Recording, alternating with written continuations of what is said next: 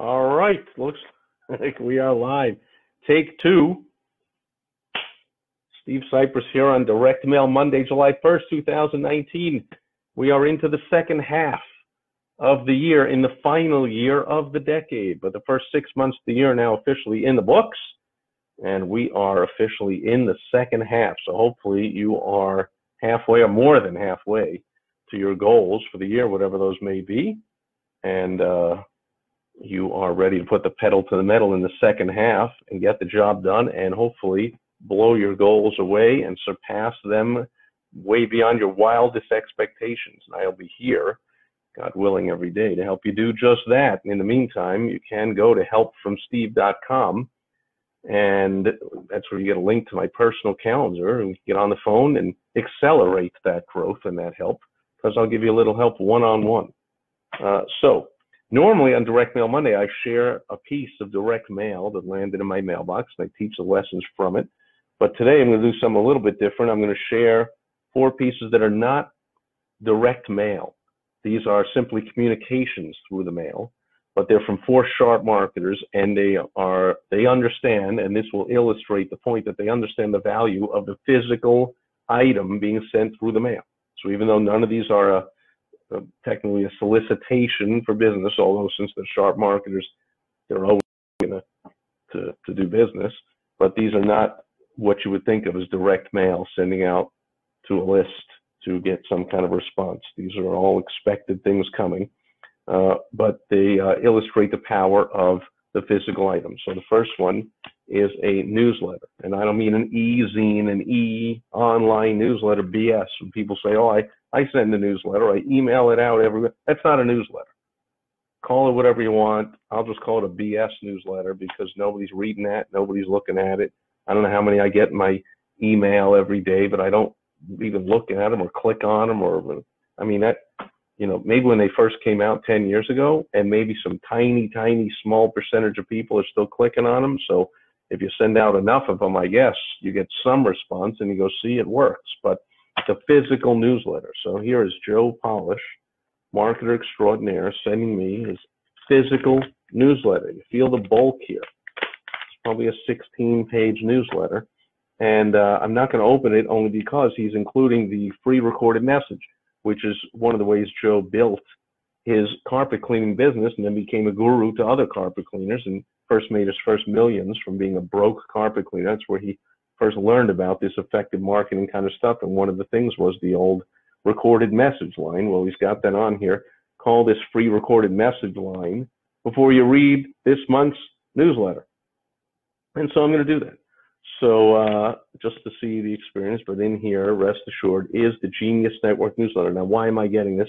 I was a member of the Genius Network for two years. That's colloquially known as the 25K group because everyone's got to pony up 25 grand cash no payments, none of that BS.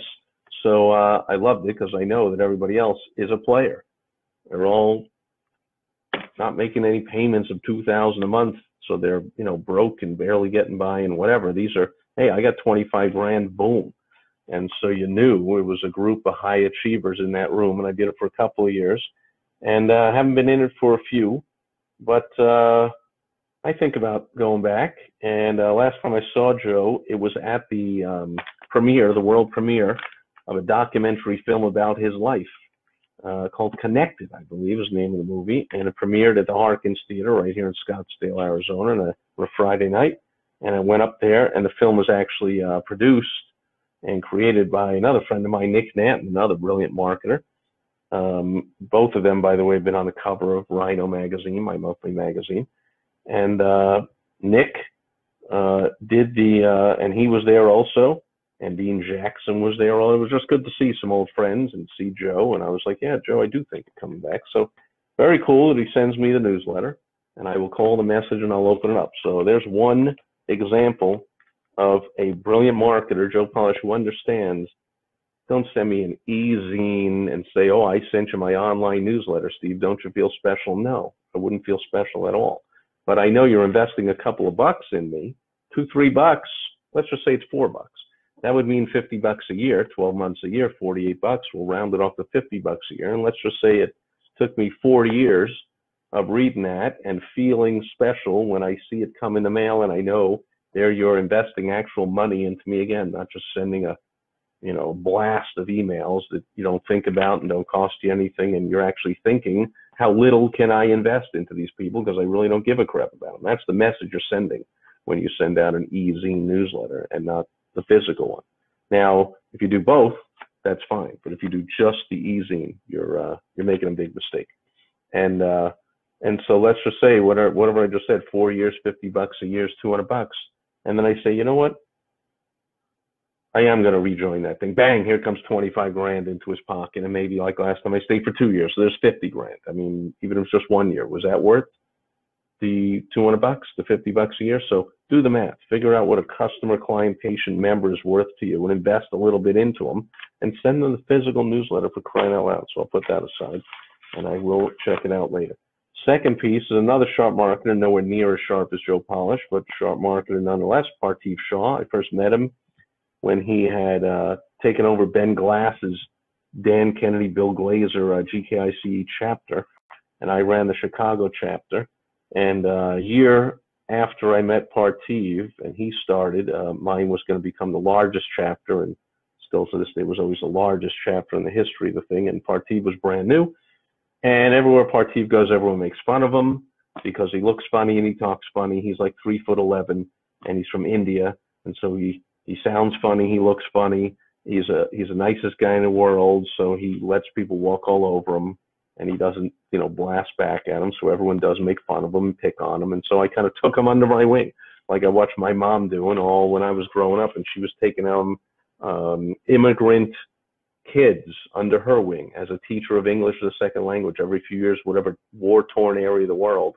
The parents are doing everything they could to send their kids out of the war torn country into America uh, and then they get here and they don't speak a word of English and didn't have any money, if very little, if any at all. And my mom would take them under her wing and they would live with us and she would tutor them and she'd give them some money for babysitting or paint the garage or, uh, you know, lance, mow the lawn, anything she could do. Uh, and so, and she, she always told me stories, by the way, that I was doing that same thing even as a kid, that when they, I was captain of the team as we're playing after school and we're choosing up sides and she goes, she said I would always pick the picked on guy uh, kid so that he wouldn't not get picked or he wouldn't get picked last. You know, I would pick him earlier than the last pick and take him under my wing and show that I cared about him. That's that's just what I did. And so I did that with Parthiv and uh, took him under my wing and kind of shielded him from all the not all but a lot of the abuse that was going on and I kind of helped him out and helped him to uh, hopefully I'll be a success with that. Later on, he became a client uh, just for one year, but he's been a long-term per- private client of Dan Kennedy, who is an expert in this uh, world of direct response marketing. And uh, he loves just giving Dan, you know, 20 grand to pop, like once or twice a year or something. he just loves doing it. And so um, Parthiv said he would send me a copy of the latest book that he co-authored, I think. And so uh, this must be it. So let's check it out. Telltale sign is it's US USPS Media Mail. It used to be called Book Rate, now called Media Mail, and you send books through the mail. And he did say he's sending me the copy. Oh, he sent me two copies. Way to go, Parthiv. Thank you very much. And so one is for Steve, and I'm guessing the other one is for Steve Spring. Very nice. So very smart of him. So probably when he tells people, I'll send you a copy of the book, he does that with everybody. And, uh, oh yeah, of course. It's, uh, oh, I got it right. It's Dan Kennedy's newest book, Magnetic Marketing, and Parthiv did the forward. See that? You, you give Dan like 120 or 150 grand or something, he lets you write the forward to his book, and maybe charge him some money for that too. But anyway, very cool. I did not have it. And he could have, again, same as Joe Polish's newsletter where Joe could have sent an e-zine. You know, Parthiv could have sent me the e-book version. Like, how stop being ridiculous if you're doing that. Like, the everyone, again, when I say everyone, like the overwhelming percentage of 99% of people have, you know, tons of ebooks on their desktop or on their hard drive or wherever that they never looked at, will never look at. They might have glanced at, but you know, physical books. Well, people don't throw these out; they don't forget about them. and and he's very smart that I'll give one to a client. So now I'll have a second person influenced by him, and uh, and it's just a sign of goodwill. And then I see his name on there every time I look at the book, and I'll think about him. So very smart again for the cost of a few bucks, three four bucks. So two bucks, maybe six or eight bucks, and the shipping is another dollar something. So you know, for like nine dollars, he shows me that like he cares instead of just sending me an ebook, which would show me he doesn't give a crap. So very smart by Parti. Thank you. Way to go. Next one, another sharp marketer friend of mine, Rob Anspach, told me he was sending me a copy of one of his latest books. He he he he picks experts and he kind of does a book with slash for them. I think he's done about a dozen of them, and he was I put a comment on one of his posts in one of his Facebook groups or something, and he was sent me a message like, "Do you have a copy of such and such book?" Because he sent me a few of them so far, and uh, the ones that he's done himself, he sent me, and of course he, he also sent me one or two that he's co-authored. But uh, no, I didn't have his latest one, and here it is. I'm guessing it's his latest one. Rob Anspach, Rob versus the scammers love it. He does now. I understand because he does post a lot about how uh, he got a telemarketing call or a scam email or whatever, and and maybe I guess he put them all together and put them into a book. Protecting the world against fraud, nuisance calls, and downright phony scams. Gotta love it. I'm gonna have a lot of fun with this one. Thank you, Rob. So we will be checking that out. And dude, what is up with not sending me a pre publication copy so I could send you a blurb because I'm well known to be a phenomenal blurb writer when I feel that the book or the product or the course or the event or whatever is worthy. You know, I don't just pull it out of my butt or make up some crap. I don't, I'm not known as straight talk Steve for no reason, but I like it and knowing Rob and, and just the, the whole concept so far, I mean, I'll just love this thing and I, man, I'll write you a great blurb. So maybe in a future version you put it on there. And then in future versions, dude, get me your book before you publish it so I can give you a blurb on there. All right. And finally, the fourth and final piece I'll share today is from another super sharp marketer. I mentioned his name before, Bill Glazer. So he was Dan Kennedy's partner. So I got two copies of Dan Kennedy's book from Parthiv Shah and uh, Bill Glazer, who I am going to be a contributor, co-author of his next book about to come out about outrageous campaigns that are outrageously successful, something like that. Uh, I was uh, on the online version of it. I did a whole uh, week-long telesummit type of thing where you know interviewed everybody and sent them all kinds of stuff and examples and whatever. And they are doing a print book also. So this is not a book. I could tell the uh, package was too soft to be a book, but check it out. It's a letter and a t-shirt. How cool is that? So the letter is thank you for participating in the Outrageous Campaigns Virtual Summit. How cool is that? From the desk of Bill Glazer. And we were able to beat our goal for what we wanted to contribute to the charity from the summit. So what happened is everyone was able to um, get a link, an affiliate link, it's known as, if you're in the online world, it means you get a commission uh, based on every sale that's made through the link. The link is tracked to you specifically. So each one of the contributors, we all got our own link, and then we could send people with emails or social media or however you want to do it, send people this link to participate in the summit. And if they purchase the recordings or the book or whatever it was, we would get a percentage of the share. And I was like, Bill, the, the proceeds are going to charity. Like, I don't want any commission or whatever from my link. Give it all to the charity. He was like, Yeah, you're not the only one that said that. So thank you very much. And then I realized I'm not even going to send out this convoluted, ridiculous affiliate link, which is like, you know, outrageous campaign summit slash one two dot steve slash screw that. I just sent people right to the main link so i don't know how many people went but hopefully some of them went and some of them were smart enough to get the recordings and the book and the whatever. And so hopefully i helped to beat the goal for what you wanted to contribute to the charity for the summit. And that is going to help Veterans Affairs Foundation of Pittsburgh to build a facility that patients who suffer from a stroke, like Bill suffered from a stroke, that's why I picked this charity, can stay in uh, during their speech therapy. So they can stay in this facility during their treatments.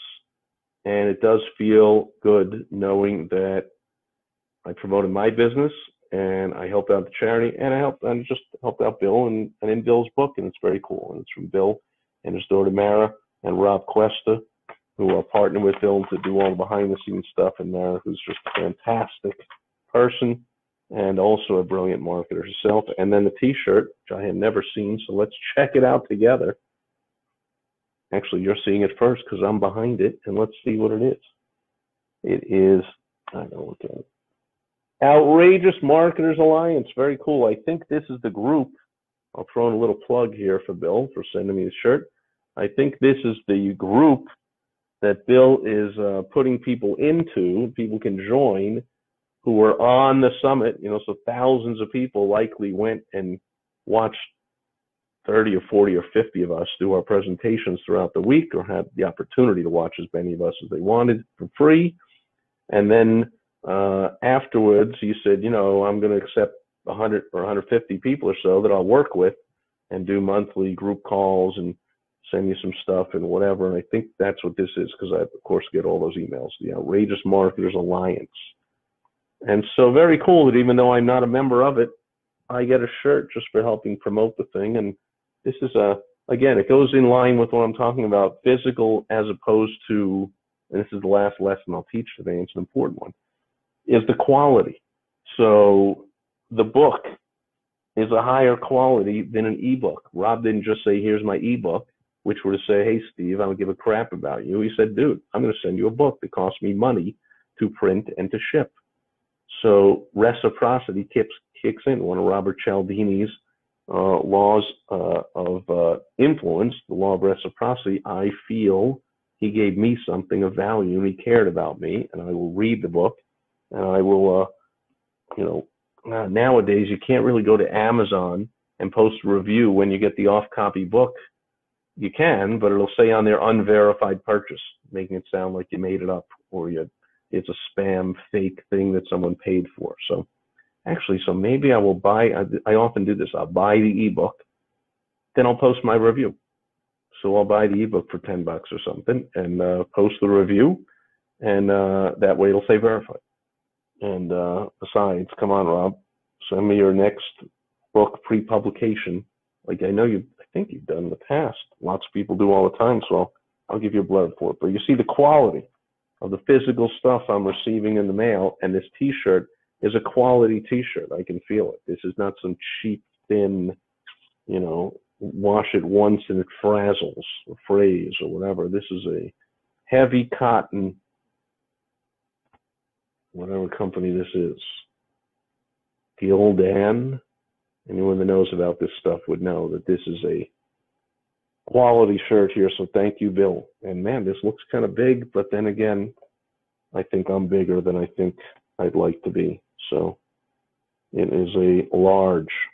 It's pretty much my size. And since it's cotton, heavy cotton, maybe it shrinks a little bit. But thank you, Bill. So I got a t-shirt and a letter from Bill Glazer in color, by the way. You see all the colors used. Those are like the colors he uses on the cover of the book for all the different letters. I got three different books, three, three, two different books, three copies of books from two different people, and I got the physical paper newsletter from Joe Polish, from Parthiv Shah, from Rob Anspach, from Bill Glazer. Thank you, everyone, and thank you for being a part, being really the bulk of my Direct Mail Monday video for today. That'll do it. For today, thanks to you four for setting a great example for my viewers, my listeners, wherever you're watching or listening to this, on the power. Hopefully, you can feel the power of sending a t shirt, not just sending a text message saying thanks or an email, sending the book, not the ebook, sending the newsletter, not an e-zine. Make sense?